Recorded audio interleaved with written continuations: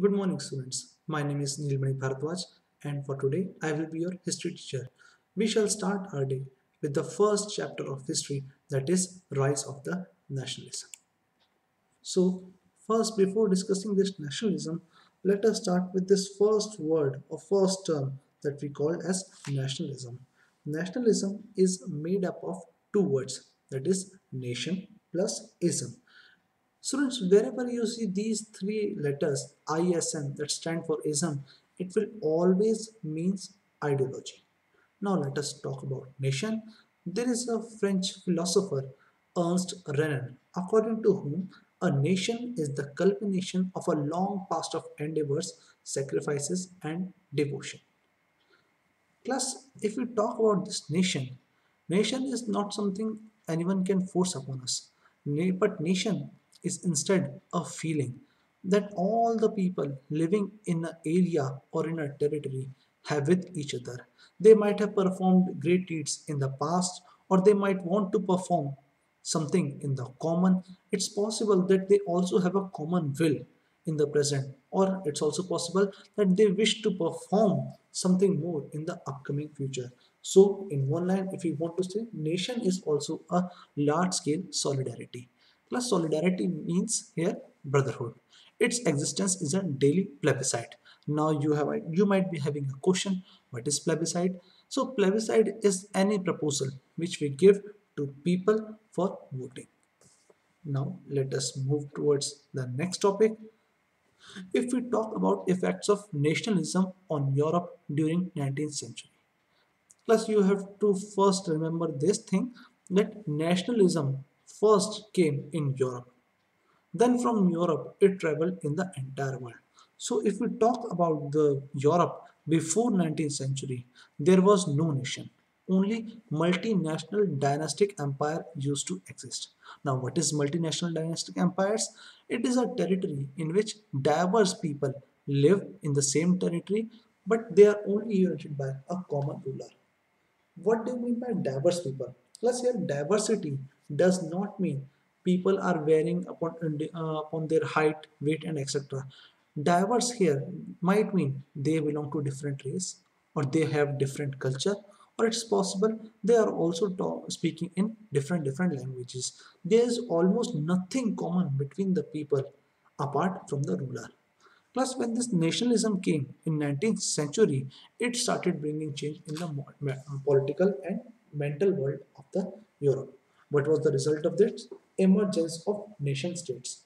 Now, what do you mean by nation states? Thus, it was an area where most of the people also had something common between them. Ruler is although common, but still they also have something common in between them. It can be anything. It can be a common identity. It can be a shared history or descent. Shared history like India. I, if we talk about shared history, we can give an example of India, which had a shared history of fighting against the oppressions of Britishers.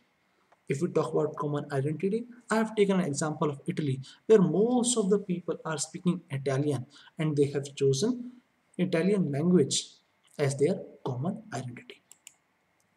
Now class, when you will open your NCERT, at the first page, you will find this picture or image drawn by Frederick Sorrieu on the first chapter of NCERT.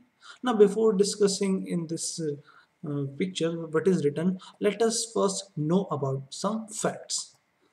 What is the name of the image? If someone asks you about this, the answer would be the pact between the nations. Now who painted this image called the pact between the nations? Answer is Frederick Sorrieu in 1848. Next, and last fact about this image is what Frederick Sorrieu is trying to show from this image. Students, he is visualizing his dream of a utopian world made up of democratic and social republic.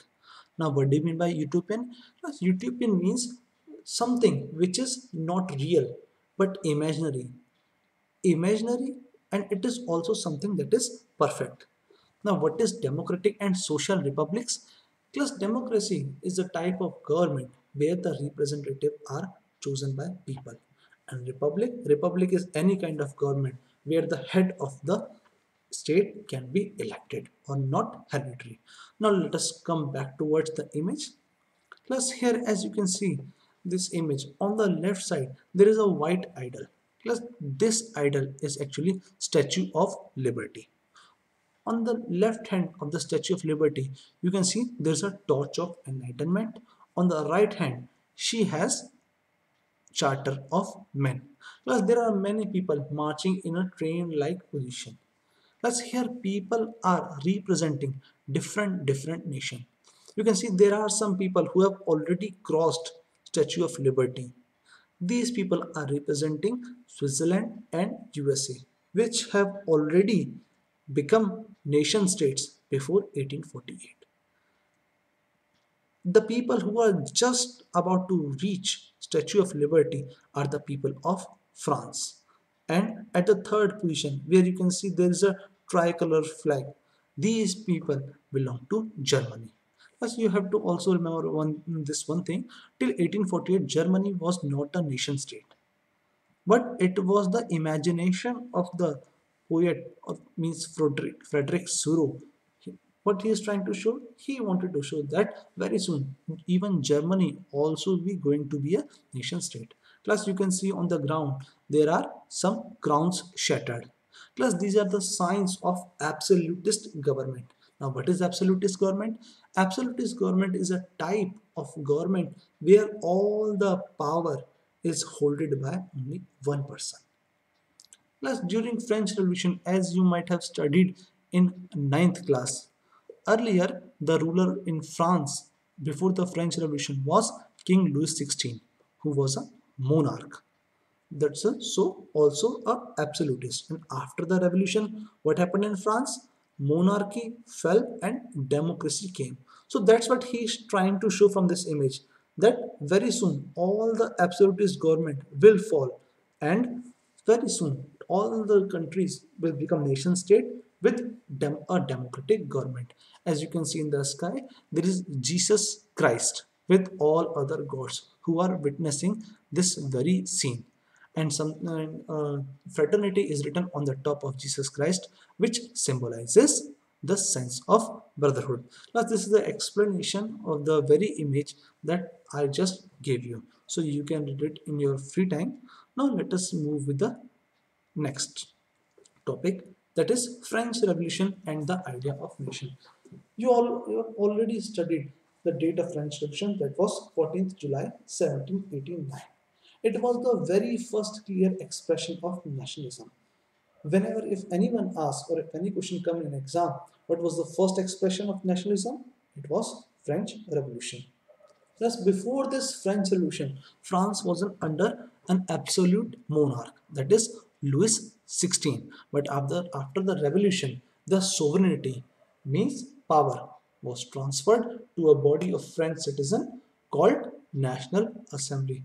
Plus this is very much like indian parliament. Just like in india we have a parliament to make laws. The same way france had a national assembly to make laws now let us see there are some steps which were taken by french national assembly so that they can create a collective identity or unite people. Plus, there were some ideas of La Patrie and Les Citoyens. La Patrie means the fatherland, Les Citoyens means the citizen. Plus, in France, everyone started considering their country as their fatherland. And if we talk about Les Citoyens, plus France made it clear that in France there was no madam, no sir. Everyone was only citizen. France also chose a new flag, tricolor. Third, a state general was elected and renamed as National Assembly. As before this French Revolution, the Parliament of France was called as Estate General, but after the revolution, it was renamed as National Assembly. There were many, many new hymns were created. Important points here is to consider that internal custom duties and dues were abolished. Internal custom duties see what it will do? It will make the goods and products cheaper. So it will benefit the market. And french became the common language. All other regional language were discouraged in france and only french were encouraged. Plus, when this, this, this news traveled to other parts of the Europe, the middle class in other parts of the Europe, like Netherlands, Belgium, Italy, also started dreaming that very soon their country will also become a democratic country. So what they did, they also started setting up Jacobin clubs, which made it easier for the French armies to move into Holland, Belgium, Switzerland, and much of Italy in the 1790s. Now let us talk some let us talk something about Napoleon Bonaparte. He ruled France from 1799 to 1815. In 1799, he became the first consul and gained absolute power.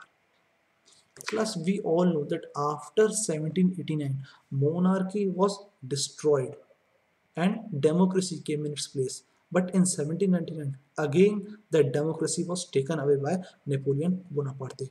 One of the most important change that Napoleon brought was Napoleonic Code of 1804, otherwise also known as Civil Code of 1804. There are some very very important points that are mentioned here.